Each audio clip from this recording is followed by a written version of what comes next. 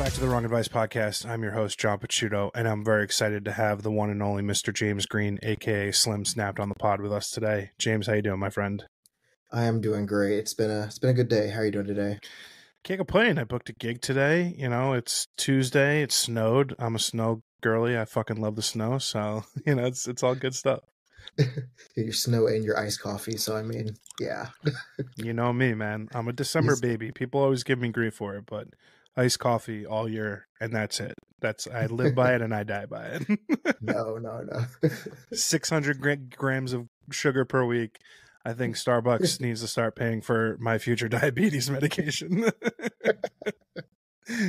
can uh, can you give a quick introduction to the listeners to uh, to who you are?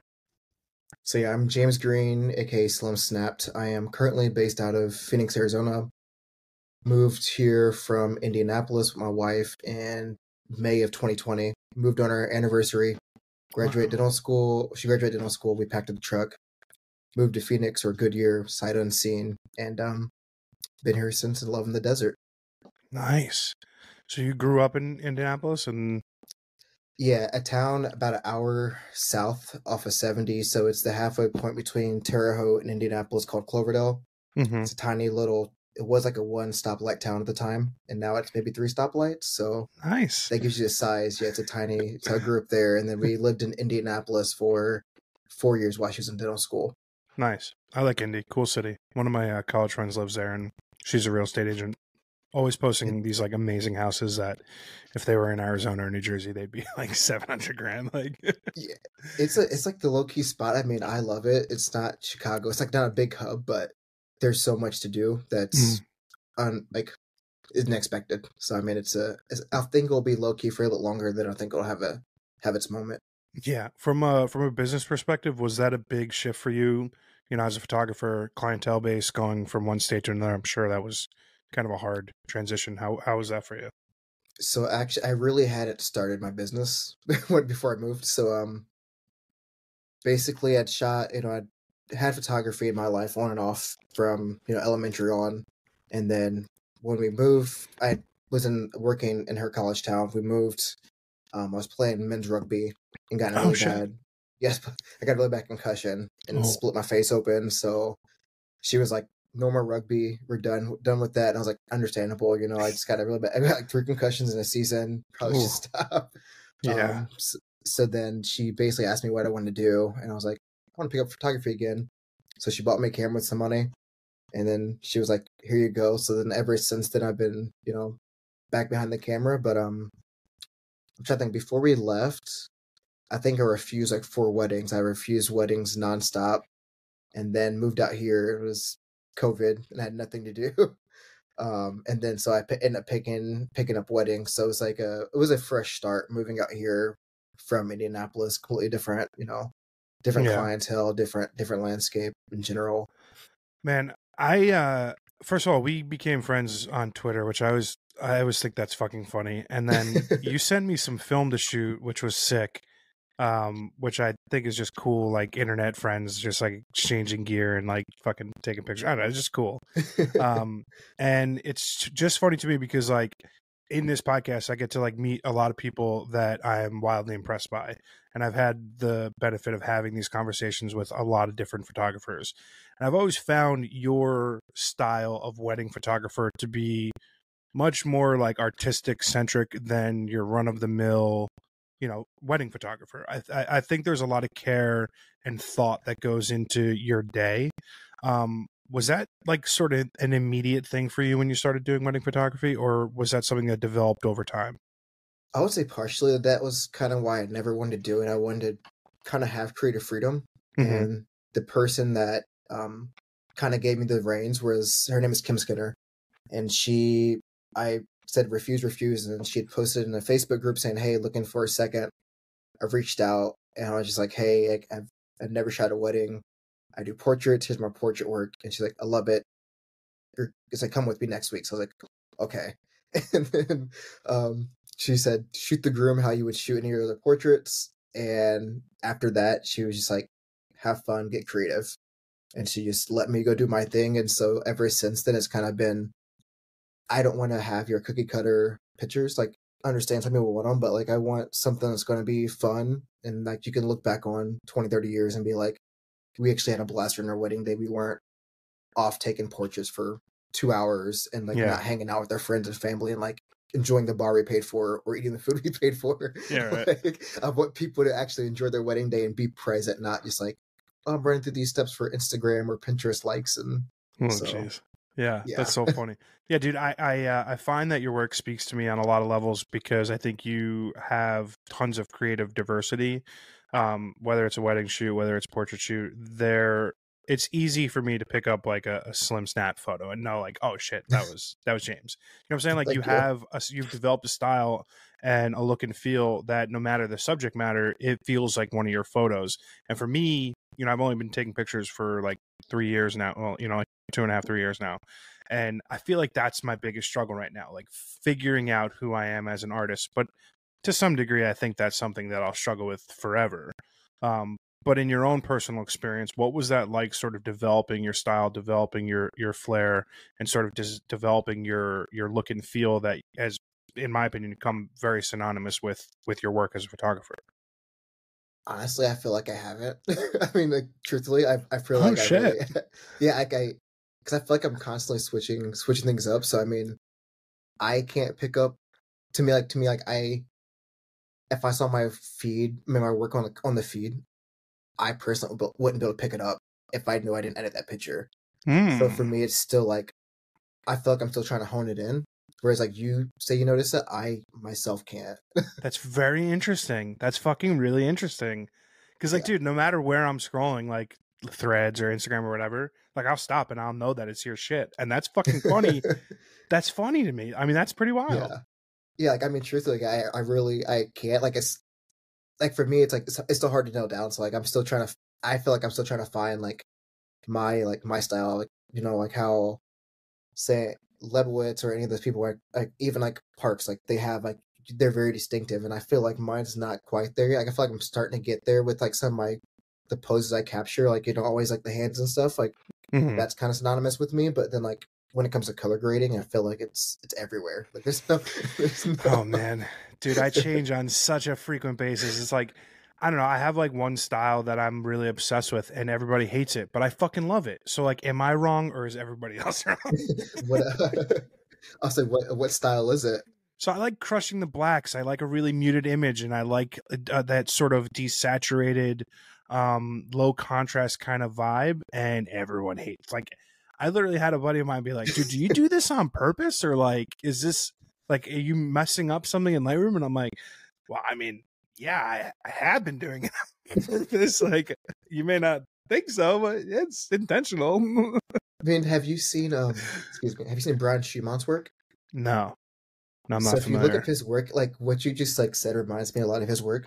okay. He does like he shoots on large format and does kind of documentary style um, portraits and environmental portraits. Like like Brian Burks is like that's who like one of his big influences. Like that line, it's very very low contrast, like overall low contrast, but then like the blacks are crushed, eh, but there's still like a lot of depth in the colors overall.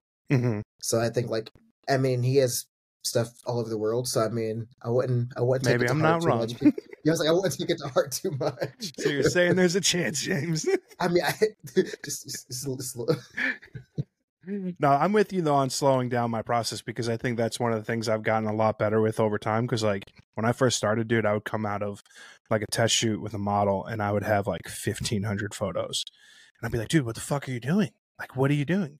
I have six photos in a row that are the same photo. Why am I doing this to myself? My computer was even telling me, bro, this is the same photo. Do you want to import all of these? And I was like, yeah, I want to import all these. They're not the same. You know what I mean? Um, talk to me about how that process works for you in terms of slowing down, being more conscious, and like sort of being more present in in the shoots in the moment. So a lot of it was like you said, I didn't want to sort. I hate sorting through. And so I mean, even now it's like um, say I, I shoot a wedding that's six hours, six hour wedding. Some people are delivering you know seventy to one hundred photos per like hour, Whew. and I'm maybe like at thirty, like maybe.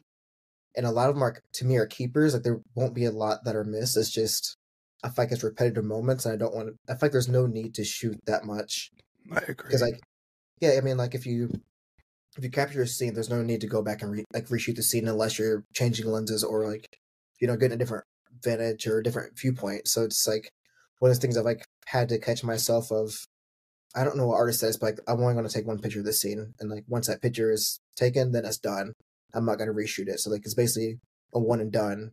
I'm not quite there yet, but like I might, it might be three frames, and then I'm on to the next, and it's just trying to catch myself because like if like the more time you spend in that one moment or that frame, you're missing everything else around you. So like Oh, I'm shooting you right now, there could be something that happen over here to the left or the right, but I'm so focused right here, I'm missing everything else around me. yeah. I try not, yeah, I try to be aware, but like so I, I'm not missing, say possibly like dad taking a picture or like if I'm with the model and we have like the you know the window open over here, like if it's natural light and that slight shift of the sun might make the biggest difference, but I'm gonna focus here. I'm not going to notice that's coming through. So trying to be like aware of the surroundings and not so focused just on that instant moment that I can catch the changes, you know. Yeah, I like that. I think that's a big struggle for me right now, and it's one of the things that I work with on a lot. On like when I'm in studio, like don't shoot 500, 600 photos. Like move on. There's you know I don't need twenty of the same pose. I need five. You know, it's like Yeah. if you're in the same position, if you're in the same sort of area, the light's hitting the same way. If you're not shooting, you know, what I mean, like move on. And I, it's just like partially it's still the excitement of this all sort of being new. Like I've only been doing it a few years and just like pinch me, I'm here, I'm doing it. It's fucking great. and then partially it's like, wow, I just want to make sure I get it. You know, I don't know fuck this up. So it's like, you know, it's like imposter syndrome slash just happy to be here slash ignorance that it's just like all facilitating through. But it's something that I work on a lot. I think I would assume a lot of people have that problem for sure. But I mean, when you're when there's money in the line and like say somebody's brand is all like you know you're depicting that brand and creating the, the images for their brand, then like Don't want to fuck make it up. yeah, you want to make sure you know those shots. So like if I'm doing like something fashion work for a brand, like I'm going to try to make sure like I might overshoot them because I want to give them as many possibility like as many options as possible. Yeah. You know what's funny, man? I uh I have a very much documentary style to my photography. I kind of started doing street photography before I became working in it. You know, as like a nine to five kind of thing. And that aspect of my photography, I think, is what draws people to hiring me from brand work, from fashion work, for whatever I'm doing, mu- music, etc. Because of the way that I sort of like come at it from a street photographer's perspective. But most of my favorite photos that I shoot end up being on film, end up being either on 35 millimeter or medium format, because number one, the process is super fucking slow. Number mm-hmm. two, I think there's a lot more intention into what I'm doing in that moment because it's fucking seventy six dollars per shot, and and number three, I just like I think I prefer it honestly. Like if money was no object, I would shoot strictly film all the time. When you're working, you have a workflow that I think is probably pretty unique to other wedding photographers, uh, for sure. A High level of film shot, rangefinder digital, which is probably uncommon in the well, less becoming more common in the field. Um, so when you're like going to put like your shot list together and your equipment list together for whether it's a wedding or a brand shoot, whatever, what are you thinking about when you're packing your bag? Oof, I'm trying to think. I have my you know I have my go to lenses. So like I right now my my bag is basically my SL2 is out at service. Oh So damn! that's that's out. It'll I think it'll be back the second week of February. Um but really I have my M11, which is like the main body, and usually I have my 40 on there. So like I that's my go to lens. Ooh, Voigtlander That's forty. Yep, 41 2. So like that's my go to every time. And then I have the Nikon ZF.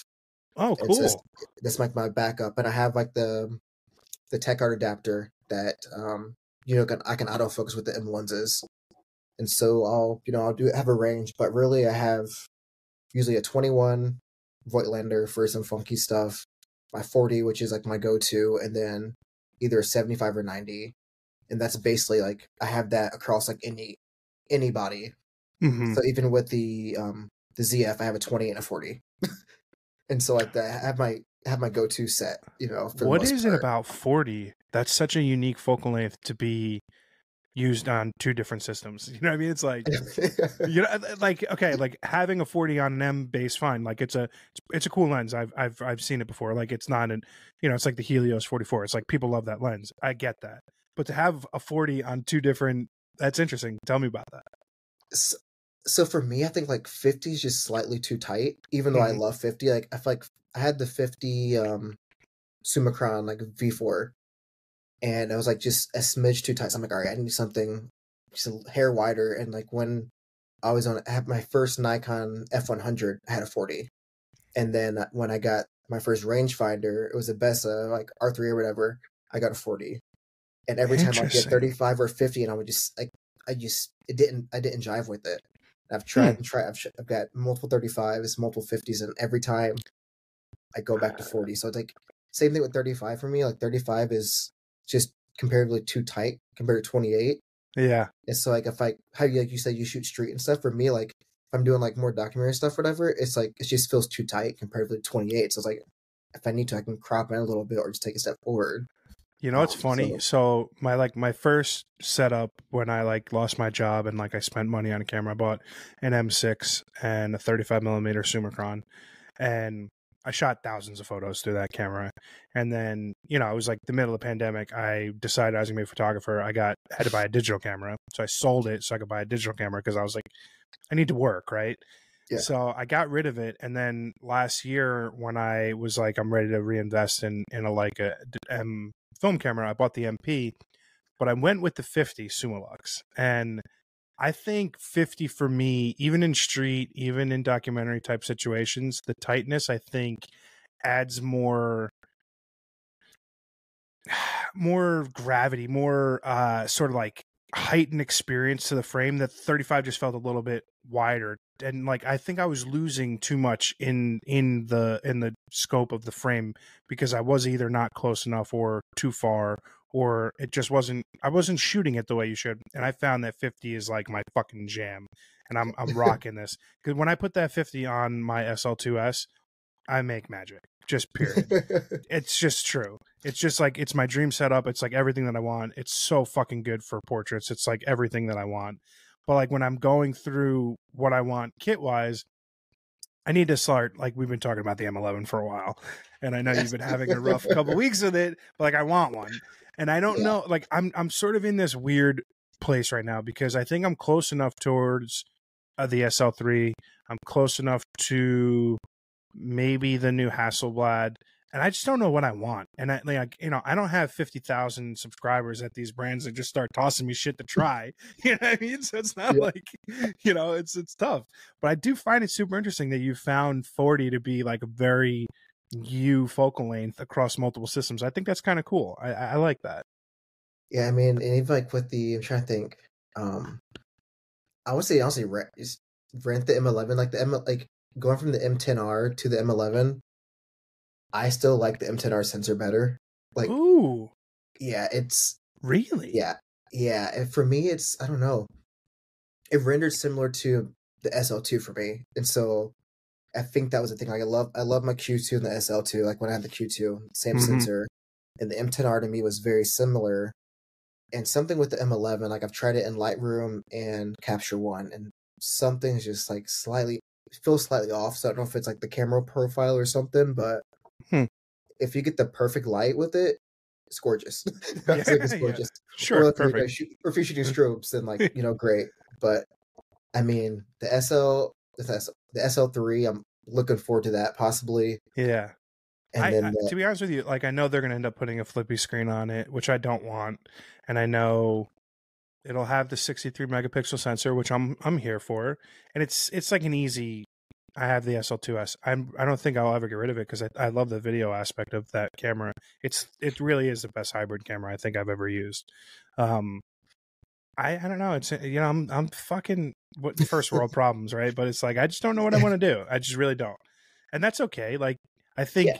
you can make decisions from a gear perspective that make sense today that may not make sense six months from now, and like these things change. And like when you buy good things and good quality and good brands, you retain enough value where you can get in and out of stuff and not get absolutely whacked on it. Um, yeah, At least you you gotta hope. yeah. I mean, I, I got I got out of my X1 D2, I I came I came out maybe losing like fifty bucks after buying Wow. batteries. So I mean, I had for a while I had the X1D2, the 63, the 45, and like four or five batteries, and just for a wedding day, I just That's so had a couple beefy. Yeah, well, it wasn't even beefy. It- Honestly, it probably weighed the same as the M11.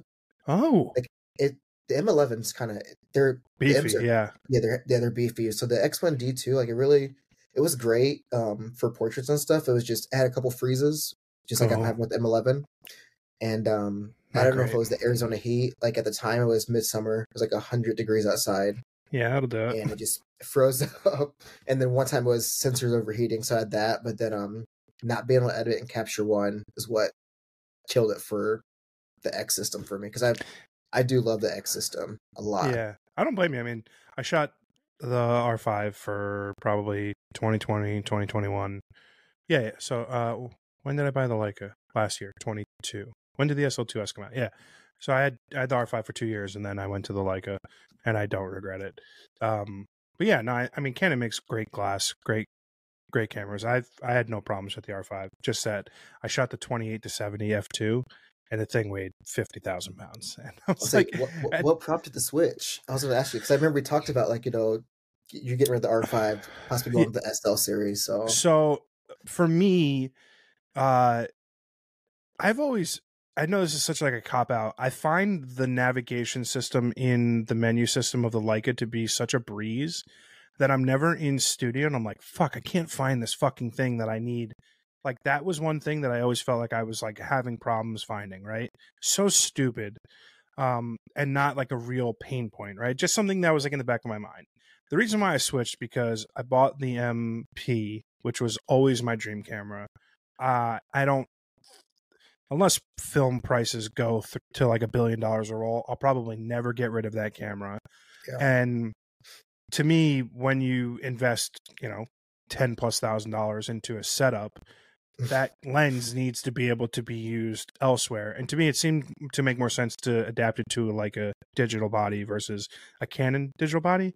Yeah. And like it was doing the sale, fifteen hundred bucks back for the SL2 SL2S kit, and I was like, that's a pretty good deal. It's basically what I would have was in for my Canon system for. So I was able to get out of the Canon system and into the Leica system. I think it cost me like four hundred bucks difference between the two, and you know, m- literally the price was mostly just the extra batteries that I had to buy. Yes. Those fucking SL2 batteries are just absurd. Um, yes, which is just like egregious. And don't get me started. I'll I'll talk for a fucking hour about these goddamn batteries. Um, but to me, like I like the simplicity. I like the Leica colors. I like everything about the SL2S from a form factor perspective. It feels premium in a way that the R5 didn't. Like I feel like I've got a five thousand dollar camera in my hand versus the Canon always felt like a little bit of a toy. It's much more plasticky.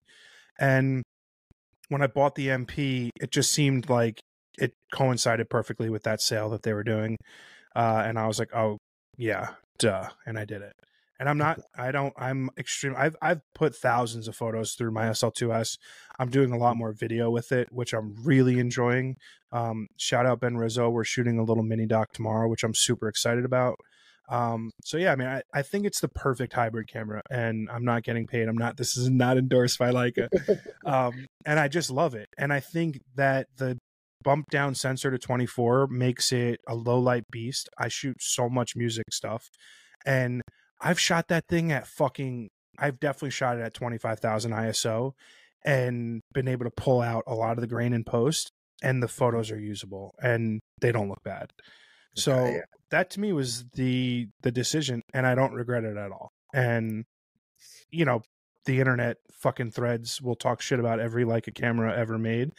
And I, I just don't think people get the opportunity to play with them. If you had a couple days a week with the camera, you'd be like, this is a an enjoyable experience. It makes me want to create, makes me want to pick up and go do it. And I never had that experience with Canon. And shout out to Leica. They have a photographer in mind when they create their gear, and it makes me want to go create. I never had that feeling when I shot Canon, and Uh, that's a nice feeling. I think, and I think I truly think people underestimate the whole menu system debacle because like it's it's frustrating. Like I mean, Yeah. like the best menu system I ever used was the Hasselblad, and then right behind is the Leica, and like Yeah. they're very, but they're very similar setup though. Like they're very minimalist, you know, Mhm. four or five buttons. Because I picked up the S5 II as a backup for the L mount, and I couldn't do it. It was too many Mm. buttons. I'm like, there's like so many buttons on this thing, I know. and I'm like, It's I get, like, intimidating. It's like, what the fuck is this? Yeah. It's a very popular camera too. Like very Yeah, popular. It was cool. Like it was great for low light, but I was like, if I if I need something low light, I'll pick up the SL2S.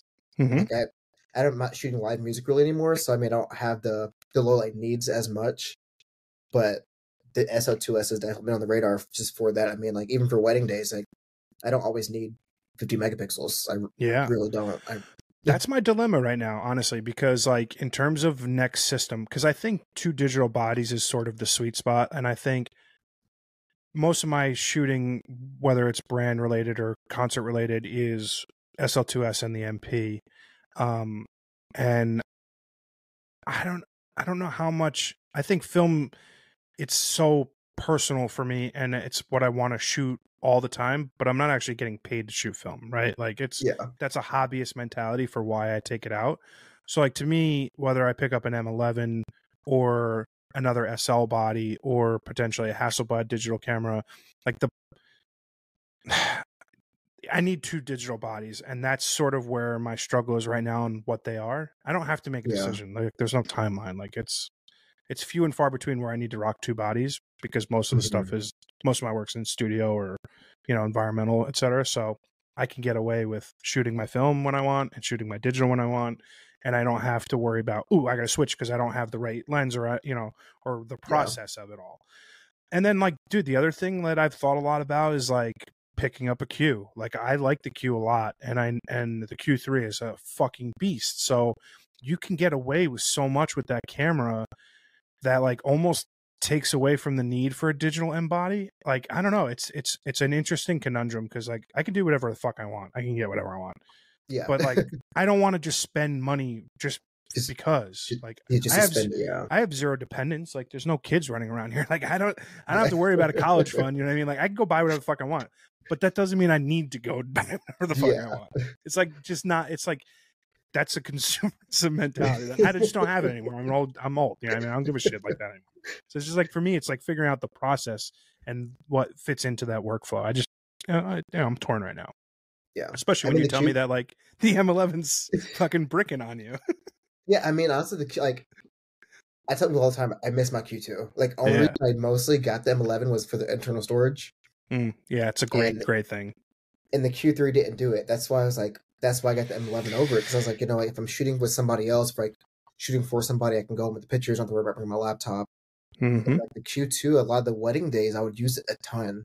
Like that thing in studio, honestly, like is one of my favorite cameras in studio. Oh, interesting. It's not great in studio because like the leaf shutter, Yeah. it's just like running like the the Hasselblad system. So I mean, you can Yeah. basically black out a full lit studio and be good to go. And so like you know, cool. getting funky with it, and like you have like a little the little Q Pixie flash or whatever, or a small like even like a hundred watt Profoto, Mhm. and you can you can get as funky as you want with it, and not you know not have Yeah, the that's cool. I never even thought about that, honestly. It does. It doesn't come up much in my workflow, but that would be fun. I don't know. Now, see, like now, my fucking see, James. Do you see what happens to me? I have like gear acquisition ADHD, and it's a good thing that I have a ton of resolve, and like I'm not fucking. Oh, hey, credit card, boom. You know, it's like if I was like that, I would have. What's the meme? I am massively in debt or whatever. Like, you know, which is good. I'm growing with age. I'm very proud of myself. but dude, honestly, like if it if it was like economically feasible, I would shoot everything on film. I think when I was like I was going through old journals that I found recently, and I found something when I started right before I went on my I went on a cross country trip when I lost my job and took a million photos and fell in love with photography and that's why I do it now. But I found a, a shoebox full of my grandfather's old Kodachrome slides, like hundreds of them, hundreds and hundreds and hundreds. And I never met gra- my grandfather; he died before I was born. And that sort of connection to him and then also to photography started before I bought a camera. And my affinity for film has now, you know, carried over because of that. Yeah. Um, Do you have a similar feeling? Like if it was economic, if it was, rel- I mean, it is reliable. I, I oh God, I'm not gonna say this. I've never had a problem with film, You know what I'm saying? It's like what are what are your feelings? Because I like I think you have the great sort of dual flow of digital versus film, but like I don't know if you're like me and it's just like I would like to shoot film all the time. I mean, I like to when I do. It's not always economic Yeah. friendly. Yeah. um, like right now, I actually was sorting out if I can, you can see it. So that's all. I was sorting everything Holy out. shit! so that's where I'm at right now with um development. So I think it's 31 rolls of 120, and then Jesus. trying to think, probably 15 rolls of 35. Oh so that's man, everything's loaded. Um, so that it's not always economic friendly, and then I have I have a bunch of four by five in the. Sorry, my dogs are going off. it's I okay. have a bunch of, I have a bunch of four by five in the bathroom Oh cool. to develop as well. So I, it's not always economically friendly, but it's I love the process enough to where like I'll find a way to do it. Um, so I mean, even if I'm doing a sh- like I'm working on a personal project covering different artists um, throughout the valley and stuff, and that's basically just me just eating the cost. You know, they're not paying me anything, they're not chipping any costs. It's basically just me just passion project. So every time, you know, it's probably four or five rolls of film, four or five sheets of four by five plus whatever 35. So, you know, it's a couple hundred bucks each person. Yeah, And it's just, it adds sunk up. cost.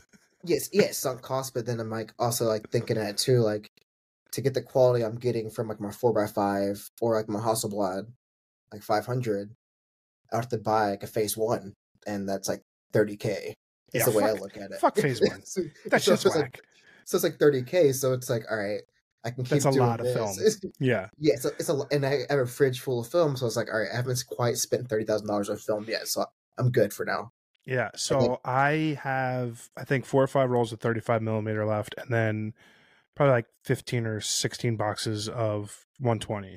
So what I want to do is shoot it all, whatever's left this year, and not replace it until it's all gone, and then make my decisions on what I'm going to do with my life.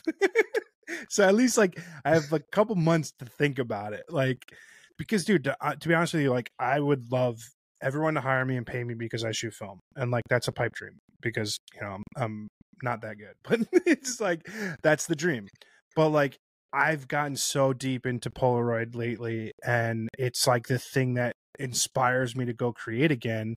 And I'm dude, I'm I email Polaroid once a week asking them about eight by ten Polaroids, and they're probably like, dude, stop hitting up our generic fucking ask a question line. We will let you know when they're restocked. But that's my next jump of what I want to do. I want to buy an eight by ten camera. It's like fucking five grand or whatever. That's without a lens. Then you got to buy a lens, and I want to shoot eight by ten Polaroids because I think that will be fucking awesome and expensive.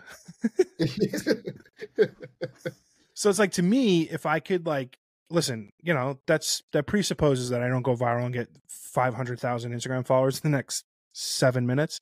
Um, but ideally, my entire workflow would be film. I, I I feel a connection to it in a way that I don't with digital, and it is the intent behind it and the most morbid, honest to God truth of it is James is like, dude, when I die, oh, my fucking cloud gets wiped. Everything I ever did is gone. But like my negatives will exist. And like, you know, I'm not gonna have kids, but like maybe my nieces or my nephews or their kids or whatever, like maybe that shit sticks around for some time and it's a thing. It's like a physical thing that I was here and I did it. And I I think about that a lot. I know it's super morbid, but I do. I do. it's real though. Like I mean, we t- like I talk about with people like um with like it's about photography in general. You know, it's I was at a conference and or like in a like a workshop and I was telling people either like, you know why why photography like asking about my mindset and stuff. I'm like, well, I was like, you think about like when you get older, your body starts to go and stuff, and like kind of all you have left are memories, and then when Mhm. memories start to go, all you have left are pictures to kind of like spark those memories. So like, it's morbid to think about, but it's real. I know. Dude, I and know. so it's, so it's one of the things that we're like said all my negatives are just in a corner it's like i pray our house doesn't like catch fire or anything because like all that's gone but Yeah. it's even with the couples like couples like i'll send them their negatives and like put these away like keep them safe because like if you ever want to get darkroom prints done, hand them off to your kids. Anything else, like you lose the flash drive, at least you still have all these negatives from Yeah. your wedding day or like or a family event. I was like, if you have a disposable camera, get your negatives back. Dude, like, Some guy on uh, TikTok or Instagram or something went viral. He hands out disposables to people at like events and stuff. Fucking coolest thing ever. I don't know. Have you seen those videos? yes, uh, I'm obsessed with it. I think that's really cool, and it just goes back to the tactile, like physical. There's something there with film that you don't get with digital, and it's no wonder why so many people fucking edit their digital photos to look like film because it's better. It is better. Come at me in the comments, bro. That's what I've been doing recently. Is um, I bought the the Leica Sofort 2. So basically, the oh, Leica cool. Instax or whatever Instax Mini, and basically every shoot now it's like I will send pictures off the M11 over to it, and then the model with the couple whoever leaves with a couple Instax Oh, just take cool. them instantly. That's so, how the like- quality's so good, man. Oh, I didn't know you could do that. Yeah, so you can set it from directly from the like camera phone, like the like Leica the Leica Photos, app. Photos So that's yeah. the biggest. That's why I went with the. I had the Instax in my cart for honestly like two years, Yeah, and I broke my Instax. Don't buy it. It sucks. Well, good move not buying it. but yeah, so like it's been sitting there, and then finally, like they came out with that. I'm like, this is genius. Like, just the whole how they did their whole ecosystem. They kind of took the Apple approach, which isn't a bad thing, but it's, It's not a bad thing, honestly, and that's No. why like people fucking shit on Leica and shit on rangefinders and shit on everything that they have. But like they're very intent and very conscious about everything working together, and that's super important. I don't have to like worry about not knowing something and figuring it out because I've got the experience on one of their other products. I- man, I fucking love that shit. That's cool. Damn, man. Listen, So, yes. I, I, I bought a very expensive uh, old Polaroid camera that Brooklyn Film Camera Lab, whatever the company's name is, updates with the internal 600 speed for the Polaroid 600 film. Mhm. I think it was like four or five hundred bucks. I don't care. It was worth every fucking dollar. It's amazing, and I'm obsessed with it. And it's got no electronics, right? It's yeah, it has no electronics, and it's it's fantastic. Like I'll never buy another Pol. uh, I don't know that i2 seems kind of cool. I was I was gonna say, have, have you have you played with the i2? No, no, no. It looks sick though. I haven't played with it. So, I a friend of mine, the name is uh, Rachel, like Arcade Artistry. Mhm. So it was, it's on my page. Um, they shot myself and another model. So there's two guys in the studio. Where we did a we did like a streetwear look and then an all black look, and they shot all film, and then um, I, I think a decent amount of Polaroids, but we did some double exposures with Polaroids, Ooh, and then we found out I was like playing with my flash stuff. They have a 2.5 millimeter um, jack, so you can actually sync flash to it as well. So you can shoot flash in studio. We found out. So um, yeah, it is. Yeah, you can do. I think you can do like like four plus like exposures on one sheet. So you can get like really, you can get really funky with it. So oh, that's cool. it's definitely worth looking into if you're if you It's since you fucking love six Polaroid. hundred dollars though. But they're already selling used for like four hundred. Oh wow, that was quick. okay. Yeah, I saw I saw one. I think it was on Reddit. I saw a guy selling it for it's like I think four fifty with shipping and PayPal fees. I'm like, That's pretty good. That's pretty so good. I mean, and it came with film, and you can use. I think you can use six hundred. And the what's the other one? Yeah, and yeah, and iType. yeah, interesting. Ooh, dude. Oh man, shit. That's cool. Get, mo- yeah, I uh, So, yeah. I've got three Polaroid cameras. Don't ask me why. I got one as a gift. I bought one, and then I bought the expensive one, uh, the SX70. it's new. It's weird calling it an SX70 because it's brand new. Um, yeah. But randomly, like I was shooting one. I had a bunch of boxes of I type that I can't shoot on the SX70, and I was in studio, and it was setting off the flashes, which was super weird. Just not connected to anything, just shooting it, and it ruined all of the fucking photos because it was like, I was like, why is this happening? Like, I'm not doing this. It's just doing it by itself. And I was like, I I have no control. Like, I can't control the exposure. It's just a button. It's auto exposure. It's just like it was all whitewashed. It was terrible. I was like, man, what the fuck, Polaroid? Like, I didn't ask for this. Like, come on, man, just give me my fucking eight by ten and let me live. Talk Yeah, to me about. I was like, talking to me about shooting four by five because my buddy Dean was trying to tell me that I should shoot that before I get into eight by ten. Um, my whole caveat with all this is like I don't want to develop any of my own film. I don't. I won't, and I Mhm. don't want to. So is that a huge problem with shooting four x five and eight x ten? Uh, I think eight by ten more so than four by five. I haven't All right. eight by ten yet. right.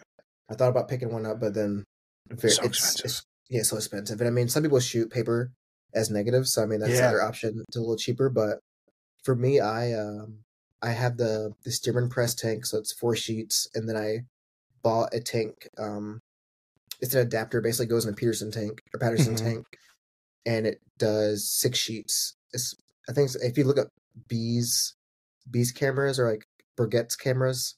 He's actually out of the East Coast. He's a watch. He did, he makes custom watches, but he also does stuff 3D printing for cameras, and um, Oh wow. that's made it a lot easier. Initially, I was scanning on the V550 and I'd stitch two images together Oh before shit. before we're scanning with my SL2. But um, there's been a couple times I've sent stuff out, so I'll send it out to Northeast Photographic in Maine, and they've scanned stuff or developed a scan for me. Um, but yeah, really, I just I really do it all myself. I mean, at What do you ship? What would you ship it in the negative to? So like I would basically, I so this is, I guess like here we go. This, yeah, so this is like two scans, my two scan box. So like, you know, it comes in the box, and then in the box there's like a it comes in an envelope, and then it's like dual. It has a there we go has like another box, and then it has like an envelope in it. So basically, I would put With it the back in the yeah. I'd So put it in back dark in the bag. In the dark bag, you stick it back. Ah, I got you. Yeah, you put it in the envelope, the dark, bag, and then there, and then I just ship. Basically, when I ship it, I just write like you know to develop on there. Here we go to develop, Gotcha. and then what it has, hmm and then like if I have anything to push or anything, anything else, you know, I'll have it on there, and I just tape the box up and send it to them, and then they'll. Sweet. That's not Yeah, that's do not that hard. I bet I could do the same thing with eight by ten. I mean, you, you can, yeah. Like I think I think Northeast Photographic does eight by ten, and they they yeah they they do drum scans as well. They like they they do drum scans. If you like for black and white, they do five ten pyro, which is awesome. Um, if you don't want to develop it yourself, so I mean they do a lot. I don't of want to do any there. development. I live in a 450 square foot studio. I don't have space to do. People are like, "Oh, you're not a real film photographer." You don't. Fuck you. Okay, I live in 12 feet. Where would you like me to keep all these chemicals, all this shit? I live in 400 square feet. I don't have the space. Don't tell me anything. I I shoot thousands of fucking rolls of film. I shoot film. I don't need to develop myself. It's such my. It's my biggest hot take. Shut the fuck up. Let me live. Let me live. Sorry, I mean, I digress. You're, you're not far from Maine either, though. So I mean, for you, it, Yeah. it might get there. It get there today. yeah, oh yeah, for sure. That's not bad. So that's so that's an option too, and the prices aren't bad. The scans are great. So I mean, Yeah. it's something to look into. Yeah, especially if you don't want to. Yeah. my my next thing is like I'm either gonna go full into digital and like buy the X2D 100C or the 907 CF 100C whatever, or uh, go heavier into film and buy an 8x10. I, I think I'm gonna just bypass 4x5 because they don't make 4x5 Polaroids, and I think do. oh they do. Uh, it's not on their website. No, not anymore. But I mean, Oh. you still can buy them.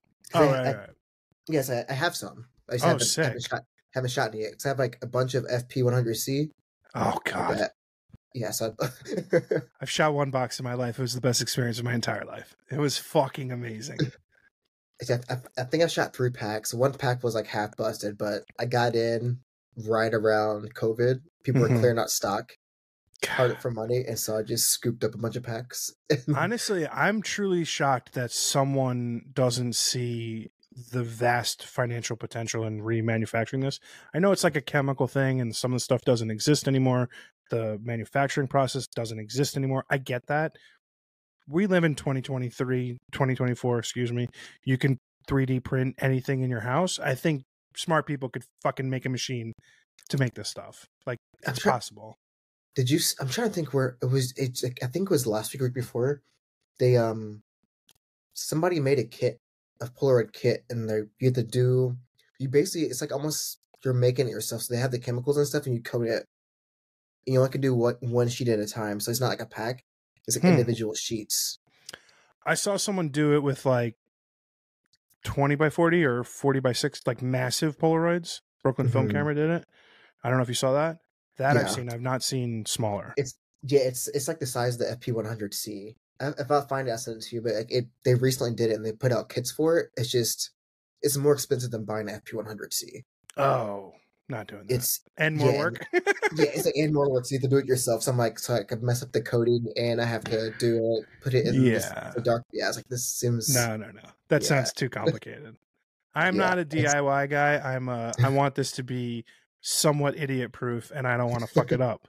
Because, dude, if you spend, I mean, listen, the boxes are still around 100, 125 bucks for a box of FP100C. If you're spending more than that, and it, yeah, and I there's a high probability that I'm gonna fuck it up. I'm not doing that. That's stupid. Why would I do that? And it's, a, I think a it's like, terrible economic decision. I think it's like eighty. I think it's like eighty five bucks for a five pack. Ooh, I'm like, that's insane. that's a lot. Yeah, And you have to do it all yourself. Yeah, it's a, yeah, and it, yeah, there's an aspect of possibly screwing up something. that likelihood would be high for me for sure that this seems very very likely. But i think what's cool is like dude i've only been doing this for a few years but like my desire to try new things is always always increasing like on a daily weekly basis. I want to try new positions new poses new models new ideas new places new gear everything. And i think that's what's cool about a creative life that i never experienced before this.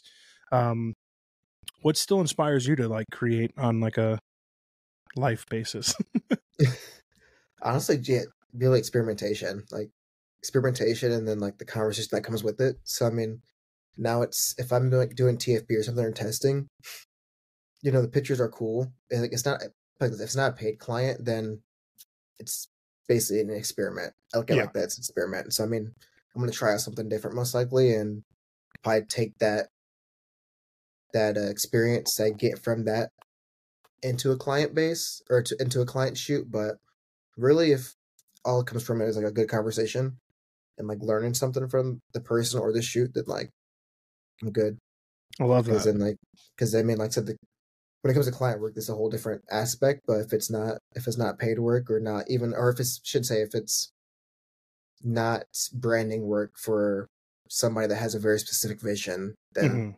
you know it's it's it's fair game Yeah. No, no, I'm with you. Um how do you what are your like feelings on failure? Um I I, I feel like I failed miserably coming into this creative life. I spent the first 12 to 24 ish months drowning like terribly. And I've just now, three and a half years almost to the day, feel like I've got my head above water and I'm fucking cranking. And I feel good about it. But I failed a lot to kind of get to this point of time. Um, what is your own personal relationship like with failure? A lot. A lot um i would say i think la- i think it was last year probably for a good portion of the year i felt like every wedding that i shot second or lead on the work was trash. Oh, whether it was or not like the other people might not thought it was but i personally felt like it was so like i feel like i felt that couple or felt myself because i didn't create images up to the level i wanted to and so it, it took a lot of reframing and I took a step back for a minute of no shoots or like very minimal shoots or anything really photography wise. I would just honestly sometimes I'd go out drive and wouldn't take any pictures. Um, Love that. yeah, that was like a a big part of trying to reframe that it's okay. Like, it's okay to fail, and then like what I think is it might might be pretty or might might to my expectations isn't what other people see. Like, yeah. You know, earlier you were saying that you can like spot my picture in a feed, whereas like I can't. That's so super I interesting to me. That blew my mind, So- honestly. so like you know that things of where like you know like my my thought and vision isn't what other people see and like i've i've come to realize that more and more and my wife like is trying to help me with that too of like she's like you're great at this you're really good at this like you just need to accept it and like try to see it from a different perspective because like what you see isn't what everybody else is seeing currently Totally. um so that's That is- That is uh imposter syndrome. I'm acutely aware of it. Uh, I, it's funny because like uh, dude it's this goes back to like shout out to my old therapist because like he definitely helped me a lot i have like this reverse body dysmorphia thing where i think i look really good and i don't so i think similarly from a life perspective i think i'm a lot better confidence wise than like maybe i am um but my relationship with imposter syndrome has always been the same as everybody else like i just feel like a total fraud at times and I think it's like very unique to this industry and very unique to our kind of set of people that are creatives. Um, you could have a half a million Instagram followers and feel like you don't belong and you feel like your work is shit and you everything that you do is trash and you could be working with the biggest biggest brands, biggest models, biggest agencies in the world and still feel like you don't belong and you could be like me, 12 people looking at everything that I do, mm. but fucking feeling like I'm crushing the world, right?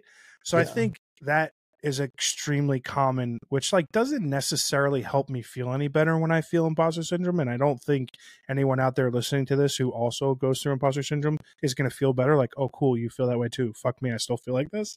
But all those feelings pass. I think like you just have to be like very cognizant of outlining your own successes and like sort of mitigating the underlying feeling that you're not good enough. And if you could do that, you could be successful in any career, not just a, a creative one. Yeah, because I mean, mm-hmm. like, like I said, photo- so photography is not like my my full time thing. So like for me, it's after two two thirty, you know, whatever day, then like then it's photography for the most part. So it's for me, it's a very let me say on off. I can I can leave the paid side whenever I want it, or if I want, you know, I'm not I'm not depending on it for a paycheck. So which is yeah. which is nice in that aspect because I don't then I'm not forced to put myself in the situations or like force myself to take shoots or yeah. So that's something Oof. that's been yeah. there, man. Been there. Yeah. Birthday parties?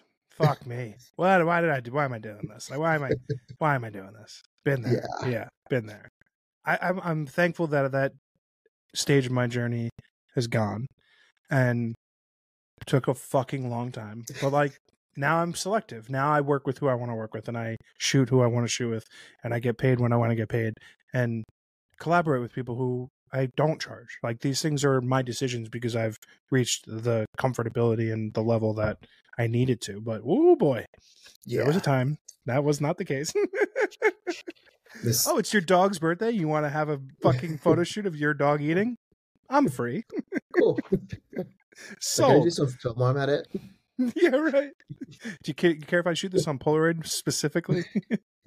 yeah, no, but I'm with you, man. That's cool, um, dude. I uh, I am immensely appreciative of you uh, spending this hour with me and coming on the pod, and we could talk for fucking days about gear, about fucking photos. Um, I'm a big fan of your work. I think you're incredibly talented. I'm super appreciative of your friendship and you coming on, man. And I uh, can't see, can't wait to see what you got going on for the rest of the year. Thanks, man. I appreciate it. Yeah, we'll have to continue on Instagram, Twitter until I get out to New York, and then we'll have to hit the streets running. Oh fuck yeah, man! Can't wait for it. Have a great rest of your day, buddy. All right, you too. Later.